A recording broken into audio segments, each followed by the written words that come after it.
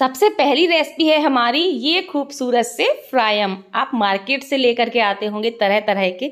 तो आज हम इन्हें घर पर बनाएँगे। खास बात ये है कि इसमें हमें गैस भी नहीं जलाना और झटपट से हम इनको बना सकते हैं। आप डिज़ाइन देख सकते हो, कितनी प्यारी लग रही है और अब मैंने आपको तल करके भी दिखाती हूँ। ये देखिए, कितने अच्छे तलने के बाद डबल हो रहे हैं साइज़ में और बहुत ही बढ़िया खाने में भी लगते हैं। तो चलिए भाई, देरी किस बात की? शुरू करते हैं आज की फ्राइम की रेसिपी। तो इसके लिए हमने ले लिए हैं एक कप साबुदाना। आपको यहाँ पर मीडियम साइज़ वाला साबुदाना लेना है। इन साबुदाना को हम मिक्सी के जार में डाल करके बढ़िया से ग्राइंड कर लेंगे। तो आप देख सकते हो कितना बढ़िया इसका फाइन पाउडर बनके तैयार हो गया है। अब हमें ज़रूरत होगी एकदम गर्म खोलते पानी की। तो हमने यहाँ पर एक इलेक्ट्रिक कैटल ले ली है और इसमें हम तीन कप जितना साबुदाना लिया था ना, उसका तीन गुना लेंगे पानी और इसको अच्छे से पानी को गर्म कर लेंगे, यानी कि खौला लेंगे। वैसे इतनी ही गैस की ज़रूरत पड़नी है, आप चाहे तो ये काम गैस में भी कर सकते हैं। पानी को अच्छे से खौला लीजिएगा तीन कप पानी को। अब इस उबलते हुए पानी को हम डाल देंगे साबुदाना के पाउडर में। पूरा ही पानी हमें डाल देना है क्योंकि ऑलरेडी हमने नाप के इस पानी को लिया है। फटाफट से इसमें हम नमक डाल देते हैं स्वाद अनुसार और साबुदाना को पानी में अच्छे से मिक्स कर लेते हैं। मिक्स करने के बाद बिल्कुल भी इसकी हीट ना निकल पाए, तुरंत ही हम इसको ढक देंगे और 10 मिनट रेस्ट के लिए छोड़ देंगे ताकि ये अच्छे से पानी को शोक कर ले और साबुदाना बढ़िया से फूल जाए। दस मिनट बाद आप देख सकते हो फ्रेंड्स, साबुदाना अच्छे से फूल गया है और काफ़ी थिकी भी हो गया है। तब हम क्या करेंगे, इसको हाथों की हेल्प से अच्छे से मसल करके एक बार मिक्स करेंगे, क्योंकि ये एक जगह थक्के जैसा हो जाता है। साबुदाना है ना, इसलिए तो इसको हमें मसल करके वापस से चिकना कर लेना है, ताकि ये नॉर्मल पेस्ट के फॉर्म में आ जाए। अब हम क्या करेंगे कलरफुल फ्राइम बनाने वाले हैं ना तो इस मिश्रण को थोड़ा थोड़ा सा अलग अलग कटोरियों में डालते जाएँगे और इसमें फ़ूड कलर ऐड करते जाएँगे। आपको जिस कलर के भी पापड़ बनाने हो, आप वो कलर यहाँ पर मिला सकते हो। तो सबसे पहले हम यहाँ पर मिला रहे हैं येलो कलर तो इसको भी अच्छे से हमने मिक्स कर दिया है। अब यहाँ पर हमने एक दूध वाली थैली ले ली है। आपके पास अगर पाइपिंग बैग हो तो वो भी आप ले सकते हो या मेहंदी जैसी कौन भी बना के तैयार कर सकते हो। तो क्या करेंगे? ये जो येलो कलर का मिश्रण है ना, इसको हम दूध वाली थैली में डालेंगे और अच्छे से रबड़ से ऊपर बाँध देंगे। इसी तरह से हम रेड कलर के मिश्रण और ग्रीन कलर का मिश्रण भी बना करके तैयार कर लेंगे। थोड़ा सा हम वाइट ही रखेंगे, क्योंकि हम वाइट कलर भी रख रहे हैं फ्राई हम का तो इस तरह से मैंने टोटल चार कलर की कौन बना करके तैयार कर लिए मिश्रण को भर करके तैयार कर लिया है। चलिए अब फटाफट से बनाना शुरू करते हैं अपने पापड़। पापड़ बनाने के लिए थोड़े से हिस्से को हम काटेंगे और यहाँ पर हमने एक प्लास्टिक शीट ले ली है। इसमें हम तरह तरह की डिज़ाइन में पापड़ बनाएँगे। जो भी आपको पसंद हो डिज़ाइन, वैसे आप बना सकते हो। तो यहाँ पर देख सकते हो मैं जलेबी जैसी डिज़ाइन दे रही हूँ और भी कई डिज़ाइन में हम इसको अभी बनाने वाले हैं। तो आप देखिए कितने आसानी से हमारे पापड़ बनते जा रहे हैं, बिल्कुल भी दिक्कत नहीं होती है। बच्चों को भी दे देंगे ना तो वो भी ये फटाफट से काम कर लेंगे। अब इसी तरह से हम ग्रीन और रेड कलर से भी डिज़ाइनदार फ्राइम बना के तैयार करेंगे। देखिए, कितने आसानी से बनते जा रहे हैं। मैंने यहाँ पर कुछ ए बी सी डी भी लिख दी है। बच्चों को इस तरह की बहुत पसंद होते हैं, जैसा भी आप चाहे बना सकते हो। और ये लीजिए, मैंने ढेर सारे फ्राइम बना के तैयार कर लिए हैं। कुछ मैंने वाइट कलर के भी बनाए हैं। अब हम इनको धूप में सूखने के लिए छोड़ देते हैं। फ्राई हमारे काफ़ी अच्छे से सूख चुके हैं। मैं शाम को आई हूँ और आप देख सकते हो कितने बढ़िया तरीके से ये सूख चुके हैं। ये देखिए तो बहुत जल्दी सूख जाते हैं। ये काफ़ी पतले और छोटे साइज़ के होते हैं इस वजह से। तो चलिए इनको हम निकाल लेते हैं और मैंने सभी को अलग अलग निकाल के रख लिया है ताकि आप देख सकें कि कितने आसानी से ये पापड़ बन जाते हैं। ये देखिए बहुत अच्छे से डिज़ाइनदार फ्राइम बन के तैयार हो चुके हैं। अब हम इनको तल लेंगे और बच्चों को खिलाएँगे। उन्हें बहुत पसंद आएँगे। तो भाई, बाज़ार से फ्राइम क्यों लाना? घर पर ही इस तरीके से घर पर जब आप बना सकते हैं। तो ये तो थी हमारी पहली फ्राइम की रेसिपी। अब हम देखते हैं दूसरे फ्राइम पापड़ की या यूँ कह लीजिए बहुत ही डिज़ाइनर पापड़ की रेसिपी। तो ये है हमारे दूसरे तरीके के पापड़, जो कि देखने में बहुत ही खूबसूरत लगते हैं और बहुत ही यूनिक डिज़ाइन इनकी आती है। तो ये हम बनाएँगे चावल के पापड़। चलिए देखते हैं ना कैसे बनाना है। ये भी बहुत ही आसान सी रेसिपी है, आप इन्हें झटपट से बना पाएँगे। तो इसके लिए हमने ले लिया है यहाँ पर एक कप भर करके चावल का आटा और इसमें हम डालेंगे चार चुटकी मीठा सोडा, यानी कि खाने वाला सोडा। आप यहाँ पर पापड़ खार का इस्तेमाल भी कर सकते हैं। अब यहाँ पर हमने ले लिया है गुनगुना पानी गुनगुना पानी डाल करके इसका हम डो लगाएँगे। वैसे तो यहाँ पर लगभग एक कप पानी आराम से लग जाएगा, लेकिन ज़रूरत के हिसाब से ही आपको पानी डालना है, नाप करके नहीं डालना है। और हमने आटा लगा लिया है, थोड़ा सा हमने इसको सॉफ्ट आटा लगाया है। अब इसकी चार बड़े साइज़ की हम लोइयाँ कट कर लेंगे और चार हम करेंगे छोटे साइज़ की, और इनकी हम बॉल्स बना के तैयार कर लेंगे। कुछ इस तरह से, जैसे कि मैं आपको वीडियो में दिखा रही हूँ। तो देखिए, मैंने चार बड़ी बनाई हैं लोई, चार छोटी, और सभी को हमने बॉल का शेप दे दिया है। अब ये जो छोटी वाली बॉल्स है ना, इनमें हम क्या करेंगे? फ़ूड कलर मिलाएँगे। तो जिस कलर के भी आपको पापड़ बनाने हुए, आप वो वो कलर यहाँ पर ऐड कर सकते हो। तो मैं यहाँ पर ग्रीन, ब्लू, रेड और येलो कलर के पापड़ बनाने वाली हूँ। तो सभी में हम थोड़ा थोड़ा सा फ़ूड कलर डाल देंगे और इस फ़ूड कलर को अच्छे से हम छोटी वाली बॉल्स में मिक्स करेंगे और इन बॉल्स को बना लेंगे कलरफुल। अब हम छोटी वाली बॉल्स को लेंगे और हथेलियों की मदद से इसको चपटा करेंगे और थोड़ा सा इसको फैलाते जाएँगे। ये देखिए, कुछ इस तरह से। बहुत आसानी से ये फैल जाता है और इसको शेप दे देंगे थोड़ा सा लंबाई में। और ये जो बड़ी वाली लोई है ना, इसको हमने रोल बना लिया है। इसको अंदर रखेंगे और अच्छे से हम इस तरीके से लपेट देंगे, यानी कि कवर कर देंगे छोटी वाली बॉल से, ताकि ऊपर एक कलरफुल लेयर इसके ऊपर आ जाए और अच्छे से इसको इस तरह से शेप दे देते हैं प्रॉपर और इसी तरह से हम रेड और ऑरेंज और ग्रीन सभी कलर की जो सिलेंडर शेप है, इसको बना के तैयार कर लेते हैं।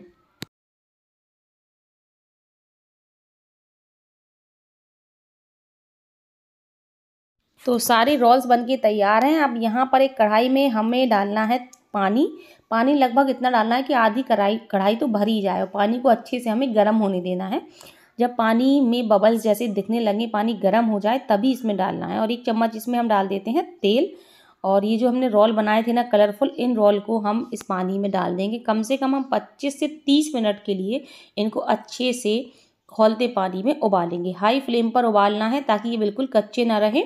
तो चलिए हम इनको बढ़िया से उबलने देते हैं। तो यहाँ पर इनको उबलते हुए लगभग 25 मिनट हो चुके हैं तो अब हम इनको रोल को निकाल लेते हैं। ये काफ़ी अच्छे से पक गए हैं। भाई, चावल के पापड़ बना रहे हैं, इन्हें पकाना बहुत ज़रूरी है, अगर आपने अच्छे से नहीं पकाया तो ये फट भी सकते हैं। अब हम इनको ठंडा होने देंगे। ठंडा होने के बाद इन सभी रोल को हम क्या करेंगे? एक पॉलीथिन ले लेंगे या क्लिंग रैप कुछ भी ले लीजिए। फॉइल पेपर भी ले सकते हो। इसमें अच्छे से लपेट देंगे और इनको हम फ्रीज़र में रख देंगे दस मिनट के लिए। वो इसलिए रखना है ताकि ये थोड़े से हार्ड हो जाएँ और इनकी हम जब कटिंग करें तो ये आसानी से हमें काटते बन जाए। अभी थोड़ा सा ये सॉफ्ट है तो हमें इनको हार्ड करना है। फ्रीज़र में रखने के बाद अब हम इनको खोल लेते हैं और अब ये जो रोल है ना, ये बहुत हार्ड हो चुके हैं। ठीक है? तो अब हम क्या करेंगे? इनके चिप्स कट करेंगे। तो चिप्स काटने के लिए आप इन्हें चाकू से भी कट कर सकते हैं, ठीक है? इस तरह से। लेकिन बिल्कुल पतले पतले करिएगा, जितना पॉसिबल हो सके, उतना आपको इनको पतला काटना है। तो आप देखिए मैं कितने पतले पतले इसके चिप्स कट कर रही हूँ, कितनी बढ़िया इसमें डिज़ाइन उभर के आ रही है। दूसरा तरीका भी मैं आपको बता देती हूँ, अगर आपके पास चिप्स कटर है, यानी कि जो चिप्स काटने वाली मशीन है, उसकी मदद से भी आप इन्हें काट सकते हैं। तो ये देखिए बस इस तरीके से आपको बिल्कुल धीरे धीरे इस तरह से काटते जाना है तो ये बढ़िया से चिप्स कट के तैयार हो जाएँगे। तो जैसे भी बन जाता है, आप इनको कट कर लीजिए और कट करने के बाद इन सभी फ्राइम पापड़ को या चावल के नए तरीके के चिप्स बोल सकते हैं आप इनको, धूप में सूखने के लिए रख देंगे। जब ये धूप में सूखते हैं ना तो एकदम पतले हो जाते हैं और बहुत ही अच्छा इनका लुक भी आ जाता है। तो चलिए इनको हम रख देते हैं। धूप में सूखने के लिए तो इन्हें सूखने में कम से कम डेढ़ दिन का समय लग गया है और आप देख सकते हो हमारे बहुत बढ़िया चावल की चिप्स बन करके तैयार हो चुके हैं।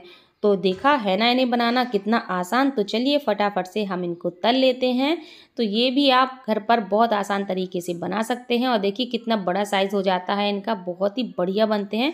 तो आप इस रेसिपी को ज़रूर ट्राई करिएगा। वीडियो अच्छा लग रहा हो तो वीडियो को लाइक करना बिल्कुल मत भूलिएगा। तो चलिए देखते हैं अगली रेसिपी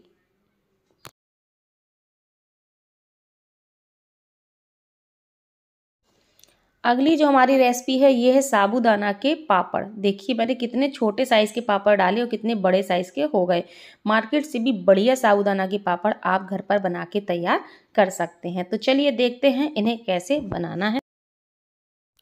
तो इन पापड़ों को बनाने के लिए आज मैं इस्तेमाल कर रही हूँ मोती वाला साबूदाना, यानी कि सबसे छोटे साइज़ वाला साबूदाना।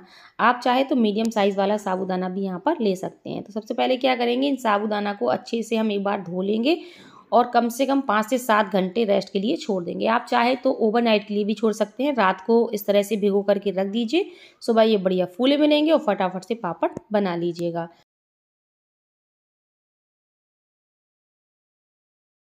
अगले दिन आप देख सकते हैं साबूदाना बहुत अच्छे से फूल गया है, हमने एक्स्ट्रा पानी इसका निकाल दिया है। चलिए अब इनको हम बनाना शुरू करते हैं। तो इन साबूदाना को सबसे पहले तो हम क्या करेंगे, इसमें डालेंगे नमक। तो स्वादानुसार इसमें हम नमक ऐड कर देंगे, अच्छे से नमक को मिक्स कर देंगे और अब हम इनको अलग अलग कटोरियों में डिवाइड कर लेंगे, ठीक है? जितने कलर के आप बनाना चाहते हैं, उस हिसाब से इनको आप डिवाइड कर लीजिए। अब इन सभी साबुदाना में हम फ़ूड कलर ऐड करेंगे।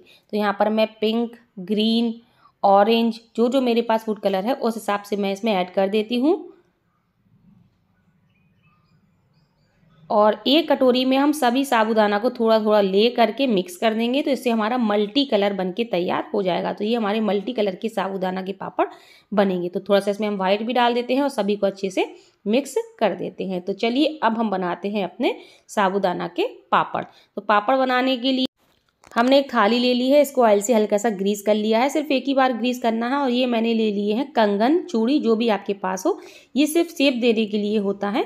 तो बस इस तरह से हम थाली में जितने आराम से बन जाती हैं, चूड़ी, उतने हम रख देंगे। और ये जो पापड़, जो साबुदाना थे ना कलरफुल इन साबुदाना को एक एक चम्मच हम डालेंगे। और अच्छे से फैला लेंगे। तो इससे एकदम गोल मटोल शेप आ जाएगा। तो हम थोड़ा सा यहाँ पर मोटे बना रहे हैं ताकि जब ये फूलें तो खूब सारे साबुदाना खाने में आए, जो कि बहुत अच्छे लगते हैं। तो इस तरह से हम सभी चूड़ियों के अंदर साबुदाना को फैला देंगे। तो हमने जितने भी कलर बनाए थे सभी को फैला दिया है। एक कढ़ाई में हमने पानी गर्म होने के लिए रख दिया है। इस थाली को हम इसके ऊपर रखेंगे और सिर्फ़ दो मिनट के लिए हम इसको ढक करके पकने देंगे। दो मिनट में क्या होगा कि ये साबुदाना में बाइंडिंग आ जाएगी, ये आपस में चिपक जाएँगे, यानी कि ज्वाइंट हो जाएँगे और जो बिखरे बिखरे है ना, वो चीज़ नहीं होगी। तो ज़्यादा नहीं, सिर्फ़ दो मिनट के लिए। फ्लेम आपको हाई कर देनी है। तो दो मिनट हो चुके हैं फ्रेंड्स, चलिए हम चेक कर लेते हैं और आप देख सकते हो, साबुदाना के पापड़ हैं हमारे, काफ़ी अच्छे से पक चुके हैं, ठीक है? इनमें सिर्फ़ हीट दिलानी होती है ताकि इनमें बाइंडिंग आ जाए। हमें स्पेशली अलग से पकाने की ज़रूरत नहीं होती है तो इस थाली को हम अलग निकाल लेते हैं और इनको हम अब करेंगे डीमोल्ड डीमोल्ड करने के लिए इस तरह से धार वाला स्पैचुला ले लेंगे और उसकी मदद से हम इनको डीमोल्ड कर लेंगे।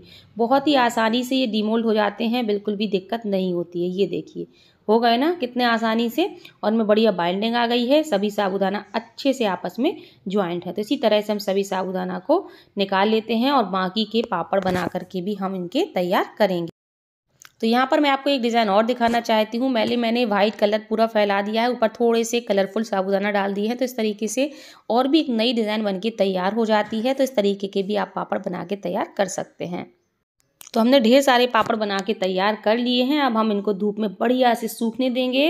इनको सूखने में कम से कम डेढ़ से दो दिन का समय लग जाएगा, क्योंकि थोड़े से मोटे होते हैं तो थोड़ा सा इनको सूखने में टाइम लगता है। तो साबुदाना के पापड़ जो हैं, वो बहुत अच्छे से सूख चुके हैं और बन के बिल्कुल तैयार हैं। देखिए, मैंने एक साबुदाना का पापड़ तिरंगा में भी बनाया था, ठीक है? तो जैसी आपकी इच्छा हो, आप बना सकते हो। तो देखिए, कितने बढ़िया हमारे साबुदाना के पापड़ बन के तैयार हुए हैं। तो चलिए, अब मैं इनको आपको तल करके दिखाती हूँ। तो लीजिए कितना बड़ा साइज़ हो जाता है तलने के बाद और बहुत ही बढ़िया मार्केट से भी बढ़िया पापड़ घर पर आप बना सकते हैं। तो अब बाज़ार से क्यों लाना? घर पर ही जब साबुदाना के ये पापड़ आप बना सकते हैं।